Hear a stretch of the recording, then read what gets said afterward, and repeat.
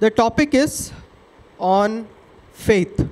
Like we have heard about faith so many times in uh, religious ways, right? So this one is slightly uh, different. So let's go to Hebrews chapter 11, verse 1. And uh, Vernika can just read for me.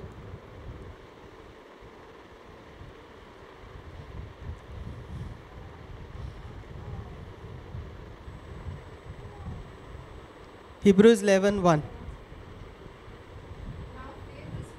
It says, Now faith is confidence in what we hope for, an assurance, an assurance of about what we do not see. So, in other words, it says faith is seeing things that we don't see with a, he's talking about we what we don't see with our physical eyes. So if we don't see with our physical eyes then how do we see things? Our mind yeah a good another good. Yeah. If we can't see things with our physical eyes then we are seeing things in our imagination. Now that's what it's saying is faith. Faith is seeing things in our imagination. Now, something is not existing, but it is existing in the, will always exist in imagination. So, if you read the whole thing, can you read the whole scripture? This is what the ancients were contended for. By faith we understand that the universe was formed at God's command, so that what is seen was not made out of what was visible. So it says, what is what you are seeing was never made out of what was visible, but By faith, by faith. Okay, that's secondary. But whatever you see in this world never manifested because it was visible. Whatever we see in this world was first manifested before seeing it with your physical eyes. That means it was in the realm of imagination. And so, what is faith? Is faith is having imagination, point number one. That's what Hebrews chapter 11, verse 1 says. You are seeing things not physically, but you're seeing things in the realm of your mind mentally. Okay. And now, being faithful to what you see in your mental realm is actually called faith. Being faithful or loyal to what you see in your imagination is faith. Right? So, all the saints of the Old Testament, they never see, saw things and they believed. They believed in the unseen things which they saw in the realm of their imagination. And therefore, if you see Abraham, he had faith in God that made him righteous. In other words, Abraham was loyal to his imagination.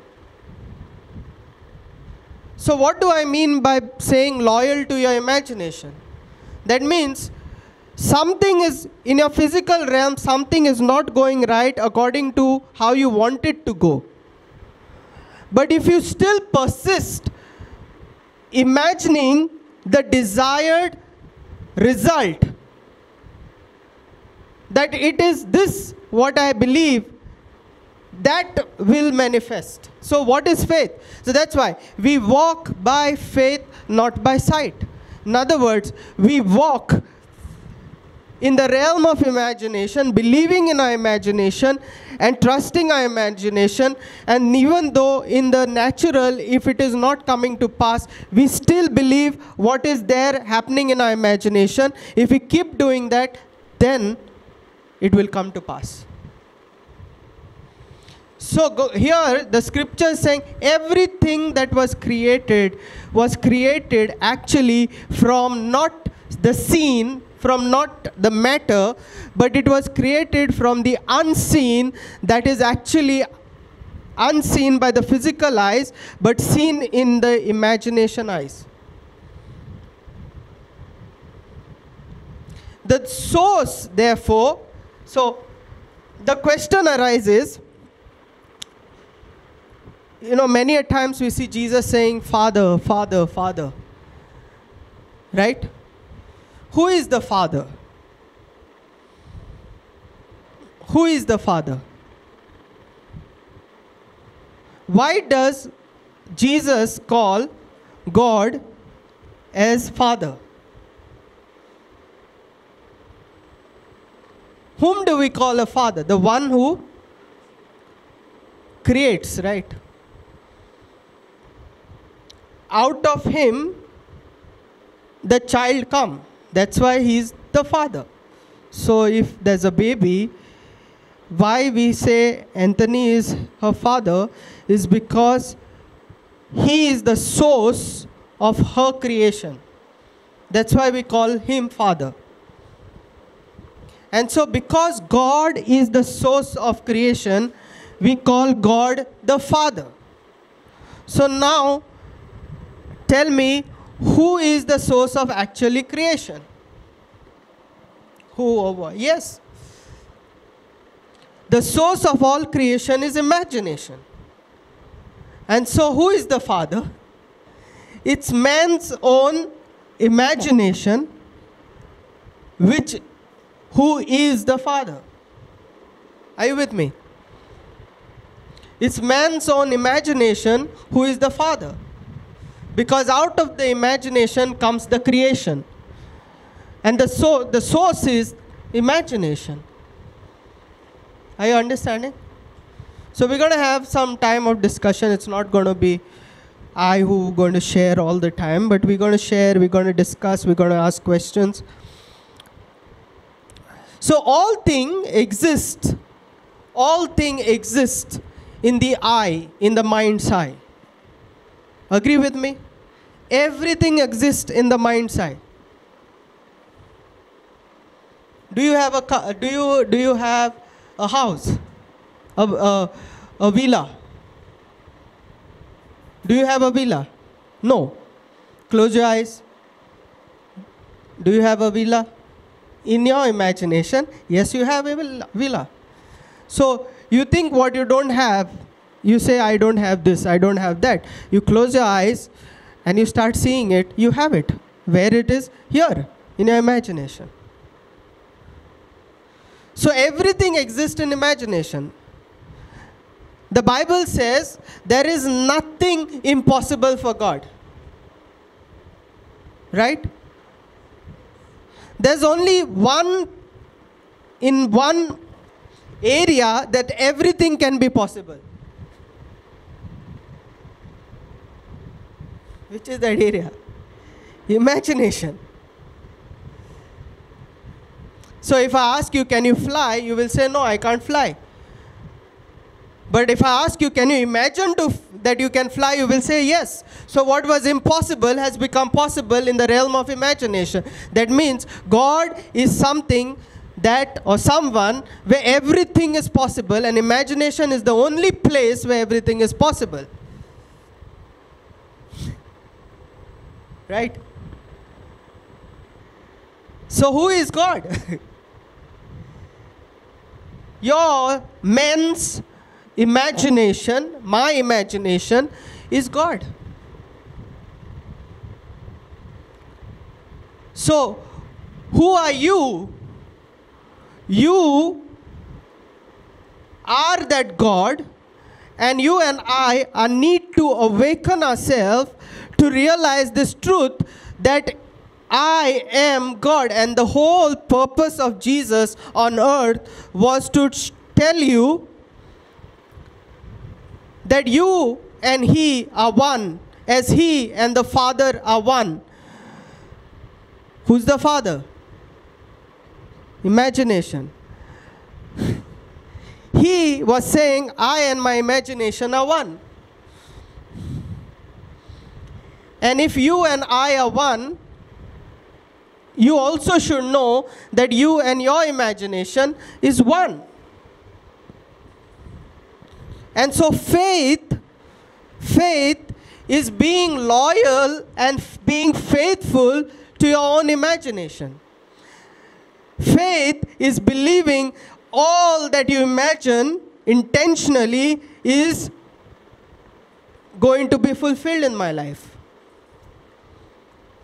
That's what it's if you believe all things are possible that's what Jesus said to whom? Lazarus was dead. He said if you believe you shall see the glory of God. Believe in what?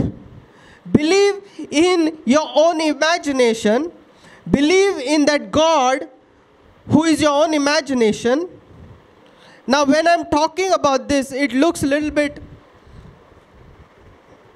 It, it, it, it cannot be digested. But that's what Jesus was trying to say. That's what the apostles were trying to say. Hebrews chapter 11, verse 1 is talking about faith.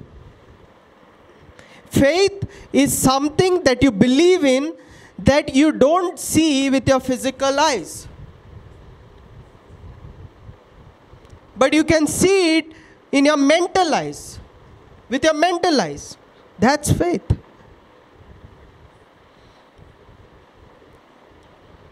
So, if I ask you, that's why God is again and again saying, don't put your eyes on earthly things. In other words, things that you are seeing physically, don't just believe in that but let your mind be focused on heavenly things. What are the heavenly things? Here, imagination. Let your eyes be focused on the heavenly things. In the things that your imagination, your desires, you imagine. Be focused over there.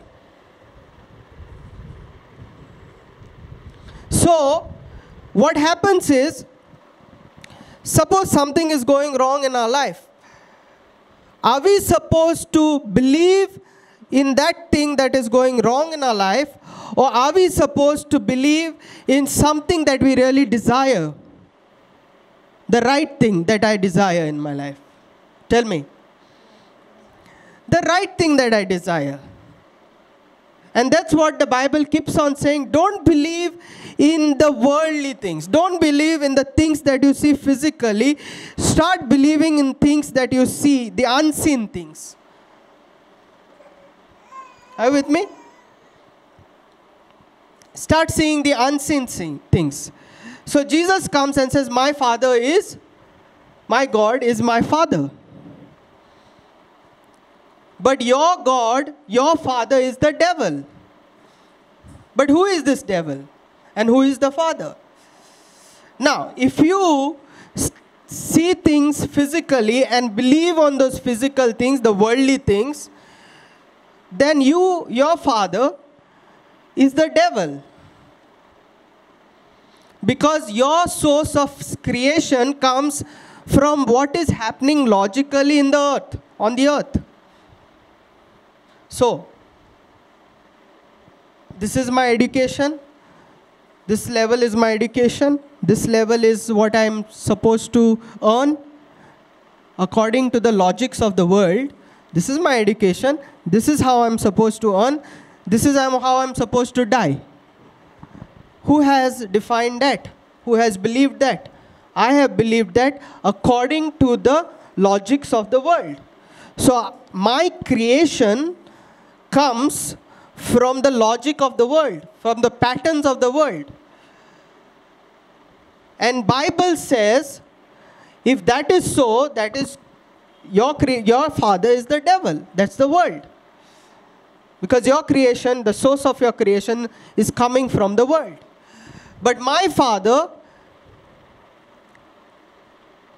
is the source of creating that what you have not yet seen. Where does it come from? That comes from our imagination. So, when things are not going right in our life, are we supposed to believe and trust in things that are happening with what we see with our naked eyes, or are we supposed to trust and believe in our imagination?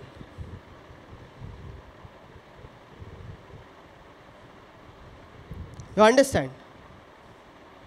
And so, once you understand that, that your and my imagination is that sacred source from which all creation comes, even forgiveness becomes easy.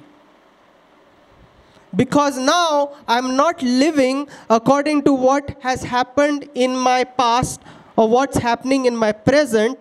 I'm living from what really I want things to happen. So, what I want things to happen, I believe it has already happened. That's forgiveness. Example. Suppose she has done something bad against me. But now I don't react to her according to the physical thing that happened in my life through her. But I react to her according to what I imagine. That's forgiveness. Forgiveness, the true meaning of forgiveness is forgetting, correct? I'm forgetting is the true meaning of forgiveness. For example, the reason why we are suffering now is because we are not forgiving and we are not forgetting. Forget what? Forget what? You are the result of who you are right now is because you have not forgotten certain things in your life or forgiven certain things in your life. Example In 2015, I met with an accident and I broke my leg. Till today, I have issues with my leg.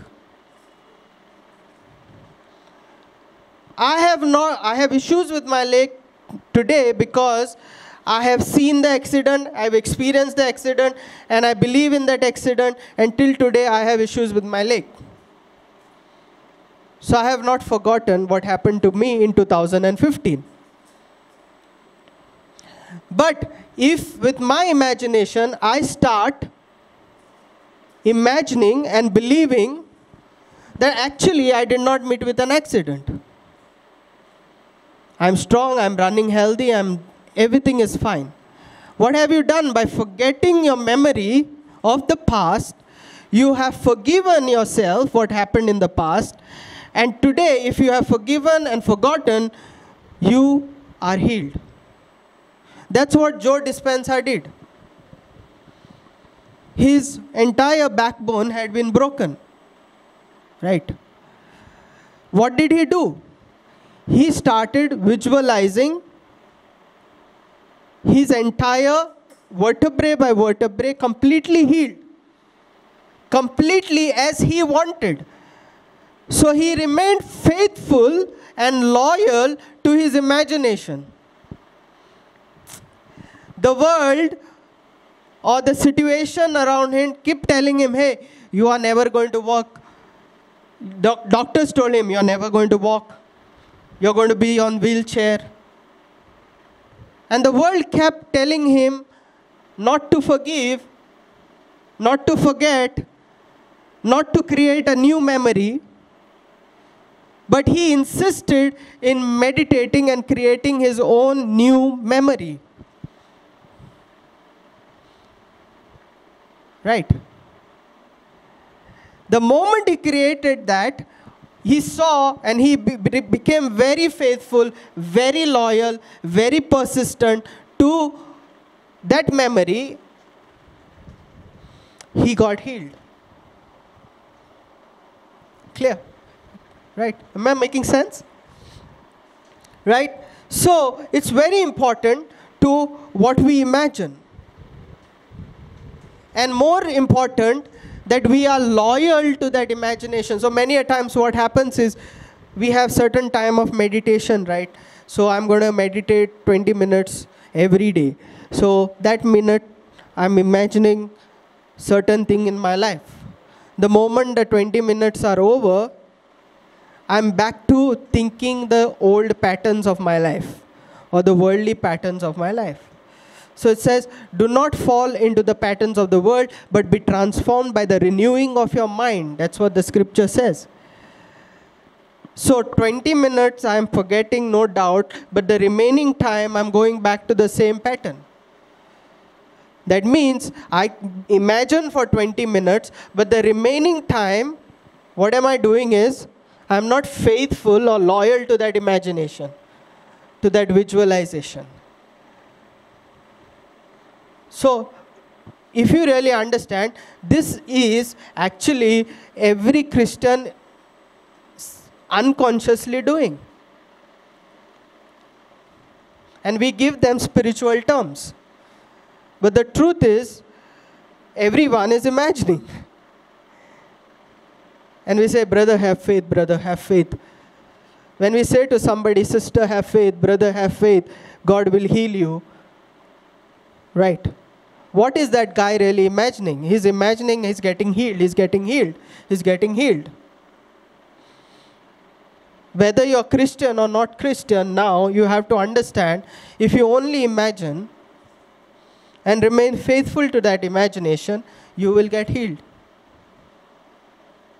It's not Jesus who is, who is outside there, who's coming and healing a person. There are times where Jesus is saying, If you don't have faith, I can't heal you. There was one whole place, he said, These guys didn't have faith, I could not heal anybody. God or Jesus, that religious religion has taught us that Jesus can't heal us. The only person that can heal us is ourselves. The Christ in us that can heal us. There is only one Christ that exists. That Christ is existing in you and me. That's what the scripture says. Christ in you is the hope of glory, not Christ outside you. Right, brother? Christ in us is the hope of glory, not Christ outside us. What does it mean? You know, three, two years back, I, I think you also was asking me this question. What does that mean? We, we, we say it with so, so much of excitement. Christ in me is the hope of glory. But today I realize what does that mean? When it says Christ in me means the glory can come only because of me. I am the source of that glory. I am that actual Christ. If there is there is no Christ outside of us, we all need to understand that. Scripture is clearly saying that Christ is in you. Saint Paul says, I know not, I don't know him by flesh. I know not any man by flesh. That means St. Paul is saying, I don't know that Jesus, I don't follow that Jesus who was in flesh. St. Paul is saying.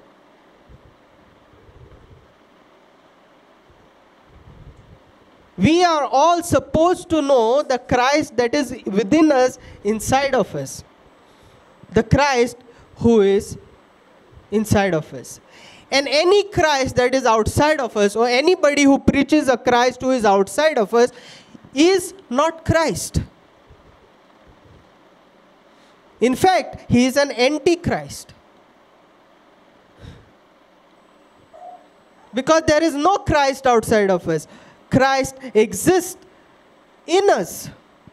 If there is existence, that existence is God, is Christ. And that Christ is existing inside of us. And the whole message of Jesus was for us to get awakened to know that God is in us. And we, being faithful or loyal to our imagination can create miracles after miracles in our life. Am I making sense?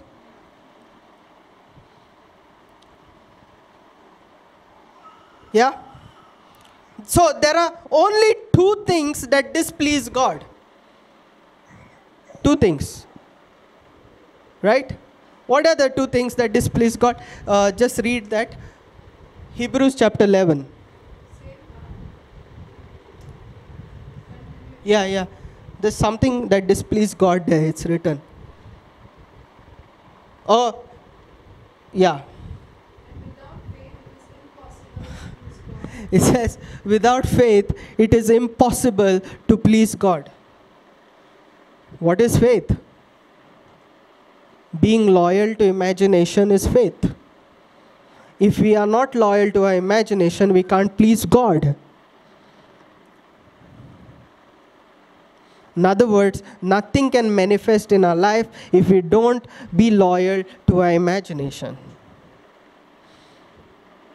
If we keep believing in things that are happening outside with what we are saying, seeing, then we are not loyal to our imagination. Second thing, God in the Bible it says what displeased God was man eating from the tree of good and evil. That means every time you are looking at things and saying, yes, this is right, this is wrong, you are becoming very logical. This is how it should be, this is how it should not be. Right? So we are again focusing on the things of the earth. So if we say, if I throw this, it will come down. If I throw this, it will come, come down. I am eating from the tree of good and evil. Because this is the knowledge. If I throw this, it will come down. That's knowledge I have. I'm eating from that knowledge. But Jesus was literally defining all that knowledge. So he said, Everybody is saying, if you, hey, if you jump into the water, you're going to drown. You're going to drown. Jesus said, No, no, no. I'm going to trust my imagination. I'm going to walk on water.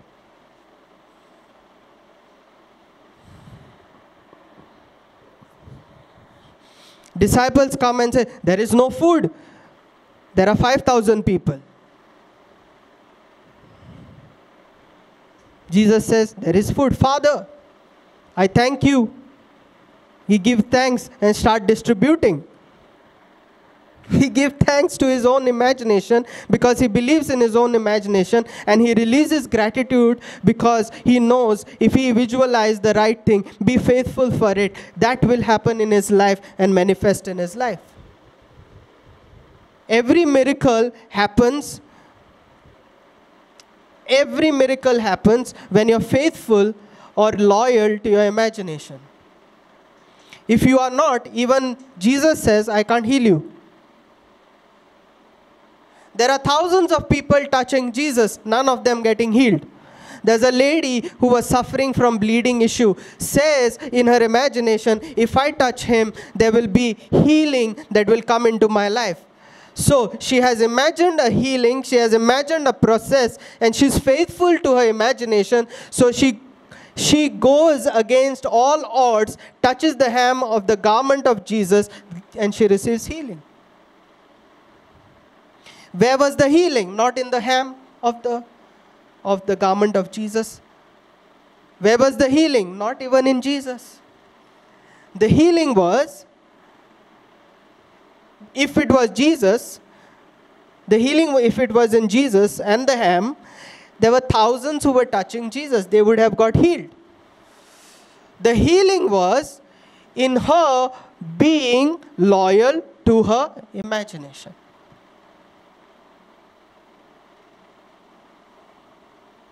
Is it? She imagined this is the process I'm going to receive healing. She remained persistent in the process and she got healed. Sometimes a guy comes and says, Jesus, this my servant who is dying. Jesus says, Okay, go, he will get healed. He doesn't say, Take the hem of my garment. He said, I believe he's healed. And then he moves away. Half the way he comes to know he's healed. So, how did he get healed without the hem being touched? Because this guy, in his imagination, knew that the process of healing, for him, in his case, in his case, the process of healing, if Jesus just speaks a word, he will get healed. So he spoke a word, he got healed. According to the man's process, believing in the process, how the healing will happen, it gets healed. So where is the healing lies? In that man's own imagination.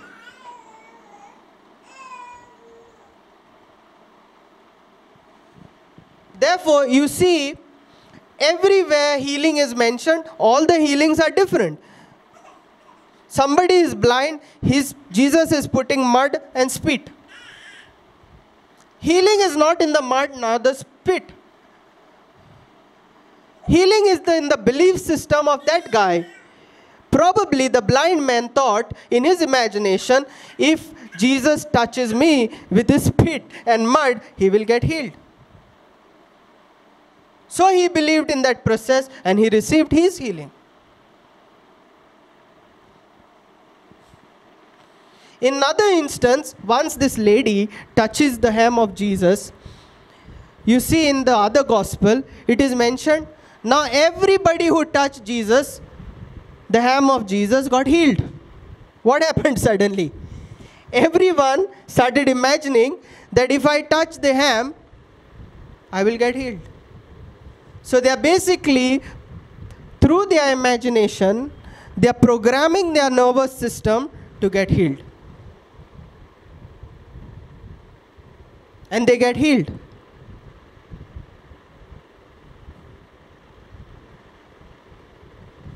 So healing can happen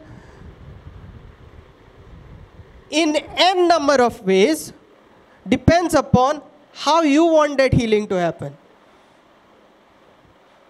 So if you are imagining, I will take this tablet, I will go to the doctor, and then I'll get healed, exactly like that it will happen. If you are imagining and you have programmed yourself, I'll say one prayer, I get healed. That's how you'll get healed. How do you imagine? And how loyal are you to this imagination that you have in your mind? Is what will bring creation in your life and my life.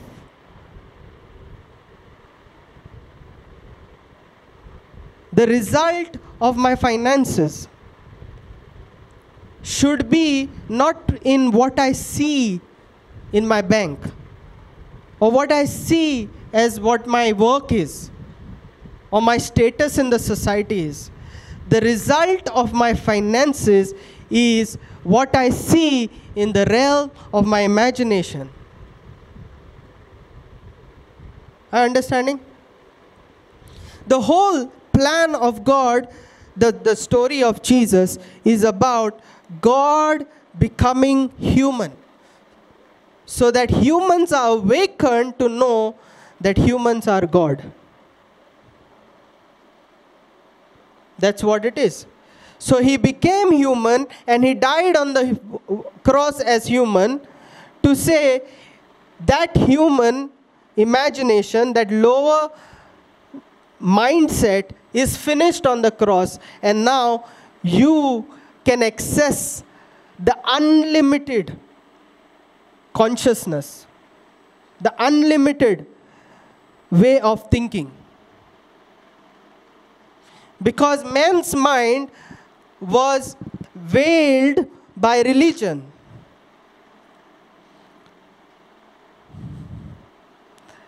Man was, the religion taught men, hey, look, in order to be blessed, you have to kill thousand goats, cows, whatever. It was veiled. Jesus comes and says, Hey, you are the temple of the Holy Spirit. You don't need to do all that. I, if I can do it, you can do it. I and you are one. As He is, so I am I. And that veil got broken.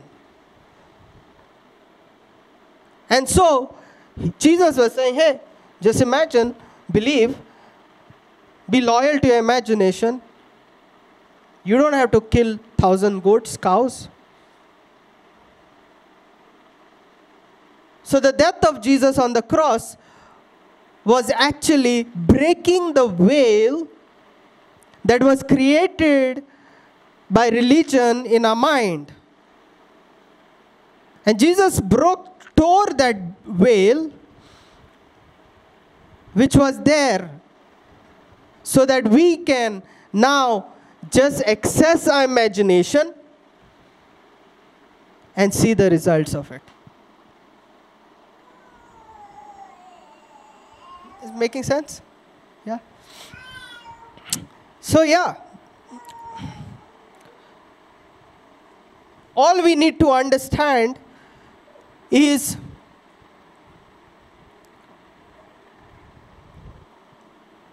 we are called to harvest or reap benefits. We are not called to sow. We are not called to plow. Sowing, plowing has been done by God Himself, and now we just have to have the benefits of what has been sowed and plowed. So we are called to receive the harvest. The end times that, that the Bible talks about is a time of harvest. End time is not a time where everything will be destroyed and you will be thrown away. End time is a time of harvest. Harvest means to see manifestations in our life. To believe in the finished works.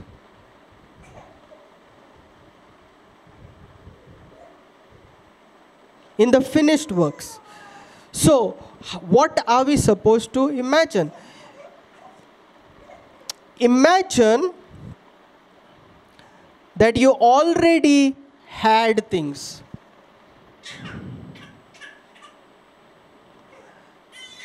If you imagine that you had things, for example, you're praying for finances. If you imagine you want finances in your life, you don't imagine that I want that money. You imagine that my parents were rich and they have left lot of inheritance for me. Can we do it? Close your eyes and just imagine that your parents were the richest people in your locality. You see, Harsha is smiling. Suddenly the vibe changed, right? Just imagine your parents were the richest people in the fam- in, in the in locality. And imagine they have lot of inheritance for you. Now you're not imagining for finances to come. You know there are finances, there are unlimited resources in your life. Are you feeling better?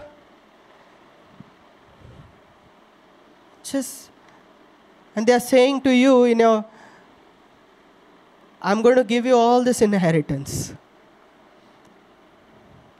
What a smile. I see such a glow in you. right?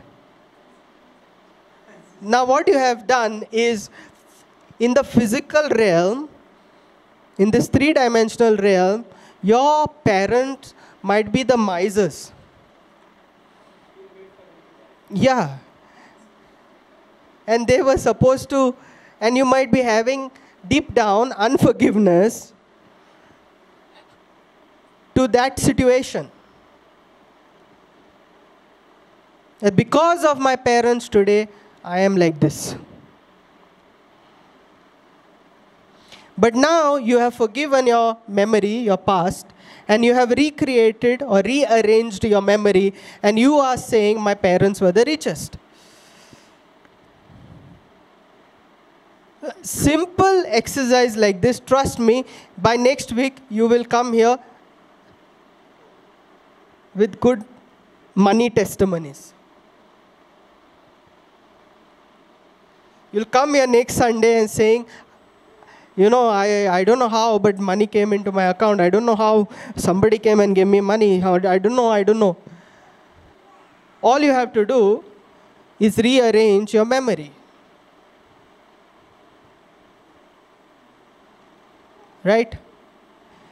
That memory that you have created saying, my parents were rich and handing over me lot of money, that memory that memory is your father.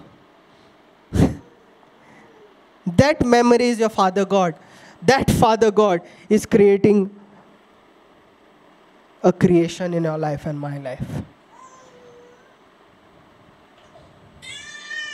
You understand?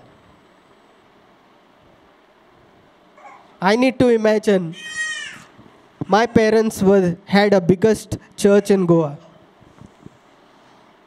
And so now it's coming to me. I'm inheriting it naturally. It's getting handed down to me. And that feeling and that imagination will produce the result in your life and our life.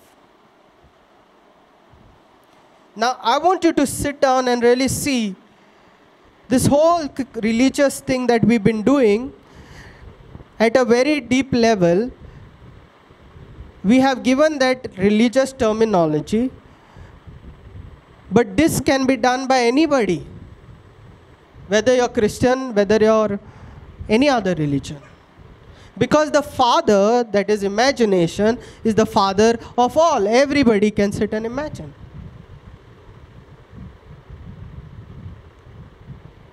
Right? Makes sense? We're going to, I'm going to call it off shortly, and then we're just going to do a small workshop that will help us to imagine better. So, in all this, this is what I want to speak to you about. When you, we are imagining, we have to imagine in such a way that we are receiving it as somebody is giving it, it to us with love. Like I said, parents. And secondly, imagine that all this thing is coming to you and people are getting jealous. These are strong emotions, right? People are envying that you are rich that's what happened to Joseph. There were two emotions very active in his life. One was the love of the father. The father. And when I say father, I'm, you put it, I'm putting it allegorically. And second was envy. Envy of his brothers, envy of Potiphar's wife. But these two emotions were the key reason for him, for Joseph to go to the pit, to the prison, but ultimately to the palace. You understand? So, see, love is in yourself. See, if we don't love ourselves, we cannot love somebody else. Simple. And how do we love ourselves? Because you see, every time I say, see, I'm, uh, what do you say? Suppose you go to a mall and you say, this is not worth for me, it's so expensive. I can't afford it. It is like you are expressing no love to yourself. This is, I can't afford it, you know. So if you say, I deserve this, I'm, ah, I'm not worthy. That's correct. Yeah. I'm not worthy of this. I'm not worthy means you are saying that I don't love myself. You are eating from the tree of good and evil. But the moment you say, I'm worthy, because I love myself, everything in the universe loves myself, everything is love, and I'm worthy to take it. Right? If we have that kind of mindset, you will see that that what you need will come to you. You don't need to go after that.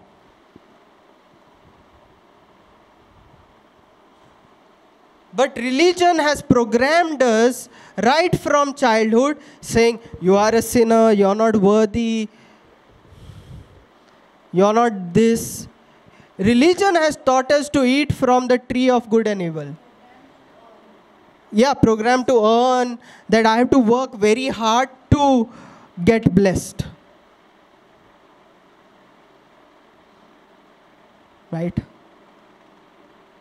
I have to work very hard to get blessed. Then people who work manual labor, they work from day to night. Why don't they earn like you and me then? We might be earning, we might be working not hard as them, right? Finances is actually not about your physical hard work Finances is about your mindset. Whether you and I are faithful to our imagination. So every time we will come across physical things that are happening in our life, but if we agree with those physical things, we are disagreeing with our imaginary things. So, we are not loyal to our God, we are unfaithful to God, and we are faithful to the devil, which is the earthly things. Devil, not the spirit with horns, with the earthly things. And so, when two agree on one thing, that gets manifested, right? So, what is happening with my physical eyes, if I agree with that, that will keep getting manifested in my life. But if I agree with my imagination and I say, I'm seeing, let's say, a big car, and I say, I'm worthy of that car, and I agree that I deserve that car, and I see myself, I'm driving that car, I will receive it. It will manifest. It will be created in my realm of three dimensional realm. But our focus, if it is on, oh, my status, I'm just middle class, I'm middle class family, I belong to middle class family, I don't belong, I don't deserve this, I don't deserve. You're agreeing to the things of the earth and not things above. Right? You're agreeing with your situation that is happening. I want you to bring to your mind one situation that is happening in your life right now that you do not like. So there's difference between not liking and disagreeing. One situation in your life that you don't like. Maybe it's a health condition, financial condition, some other issue in your life. You don't agree to it, you don't like it. Now think about whether you agree with that situation or you disagree with that situation. If you are disagreeing with the situation, then I want you to agree with the ideal situation that is there in the realm of your mind. What's the ideal situation according to you? Agree with that. The ideal result. Agree with that. And don't give in to that what you're seeing in your eyes.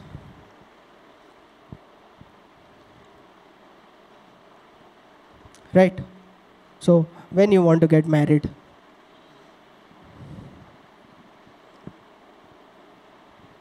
you want to get married, right? When?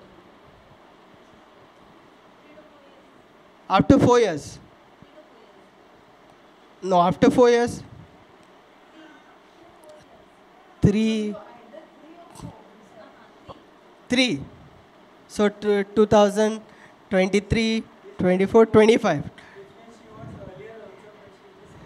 P- Yeah. Probability. So 2025, let's say. Okay. With with everything right now in your life, do you think you're going to get married in 2025? Everything happening right now in your present life. You think? I got the boy and all. Okay. Then it's a wrong question to you.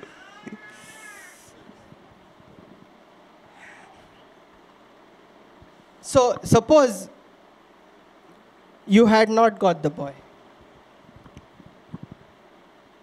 I'm just trying to show you how to imagine. What you would imagine.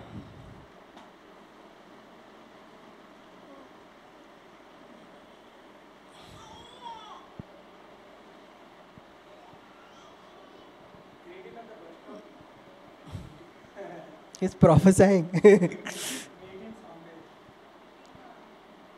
if I were you, I would imagine I met this boy, this ma- I just three days back. I, we are completely in love, and everything is finalized. And the card and all is printed. I would feel the card. I would see on the cra- ca- card the year where I'm getting married. And bring in the feeling and feel it because that is actually faith. Okay, so now you have imagined all this and you have imagined the ideal situation. Now, suddenly, like Hindi movies or Bollywood movies, there's a villain who has come now. Maybe the mother or the father or uh, somebody else and said, No, I will not allow my son to get married to you. Or ex boyfriend. Or he's an ex girlfriend. Okay, she's come and it's saying, Now, now, what you have imagined, it's exactly opposite is happening in your physical eyes, in the physical realm. How do you resolve it? Yeah, so when something like that happens, what your reaction to that will always be according to what is happening in your life, right? You will start reacting. You will start uh, getting anxious, worried. But if you that that anxiousness that worried that you're becoming that is becoming then it's like becoming disloyal to your imagination. And the moment you're disloyal to your imagination that is not faith. But if you say okay no problem. I know i'm going to get married. See abraham got his only begotten son, so, only son.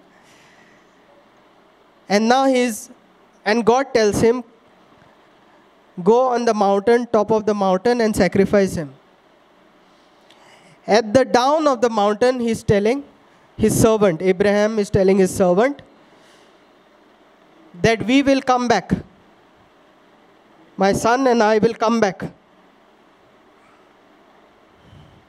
So, Abraham is walking with his son to sacrifice, but all the way from down to top, he is not succumbed, he is not victimized by what is told to him that he needs to sacrifice. this guy is imagining that he's going to come with his son back. He's not fixing his eyes on the three dimensional thing, what is going to happen. He's fixing his eyes on what's going to go in his imagination. Ah, I'm going to go up and I'm going to come down with my son. I'm going to go up and I'm going to come down. He's nowhere is shown that he's worried. There's no reaction only. Right, Anthony? Exactly that's what happens. And God says, This is faith. Faith is being loyal to your imagination. Even then, when circumstances are coming into your life, you are not getting victimized by the circumstances, but you are knowing that what you are imagining will surely come to pass. That is faith. So, no matter how many villains come in between, you're still smiling and saying, Oh, my wedding card is going to be like this. and my honeymoon is going to be like this. It's going to come to pass because now you're faithful. You can be like Abraham. Everything is fixed. Suddenly the mother says, No, you can't get married to him. So rather than going and fighting with the mother, you are faithful or loyal to your imagination and saying, keep, you tell the mother, you keep fighting, but your son is going to be ultimately mine. right? That's what is faith. And that's what we all need to have.